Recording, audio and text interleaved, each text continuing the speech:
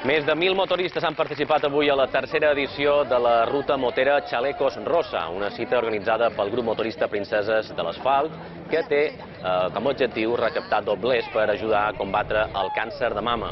El bon temps ha ajudat perquè motoristes de tot Mallorca hagin pogut aportar el seu granet d'arena a la causa. Amb el rosa com a color predominant, han recorregut l'illa per donar visibilitat a aquesta causa. Es una cosa que nos, nos ayuda a investigar la investigación y, y salvar más vidas siempre es importante.